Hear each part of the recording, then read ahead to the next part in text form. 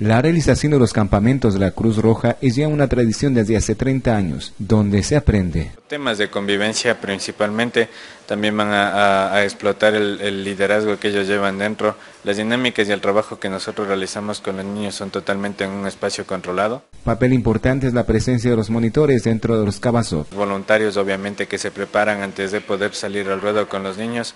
Tienen cursos de, mm, del manejo de, de grupos, el control de estrés, dinámicas interactivas, entonces los voluntarios están preparados para este tema. Para esta edición en la ciudad de Ibarra, que finalizó el fin de semana pasado, estuvieron más de 200 niños, lo explica Moisés. Tuvimos un total de 210 niños en el Cabazog, en el taller que se lo realizó en la escuela Ana Luisa Loro frente al Coliseo Luis Loro Franco.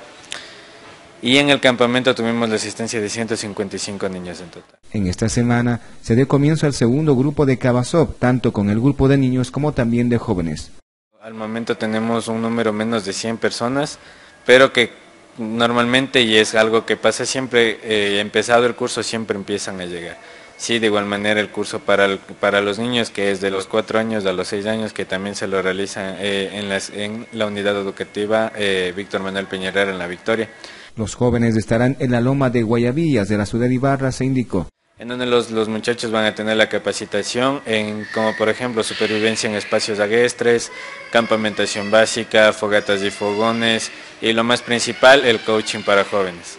De estos campamentos, expresa el coordinador de programas y valores, serán los nuevos voluntarios de la Cruz Roja en los diversos espacios que la entidad dispone. Nosotros admirábamos a, los, a nuestros monitores, nos gustaba el trabajo que ellos realizaban, entonces eso nos motivó a acabar el cabazó, cumplir la edad necesaria y seguir en las, en las filas de Cruz Roja. La invitación está hecha tanto a los niños como a los jóvenes para inscribirse en esta segunda etapa. El costo es de 35 dólares en el cabazó niños. Eh, esto, le da, esto le da derecho al niño a participar tres semanas del curso que se realiza aquí en la ciudad y también eh, a un campamento de tres días, obviamente también con la camiseta que anualmente cambia su diseño para que, para que los niños vayan coleccionando, por ejemplo. Con cámaras de Galo Vinuesa para TVN Canal Germánico Guamán.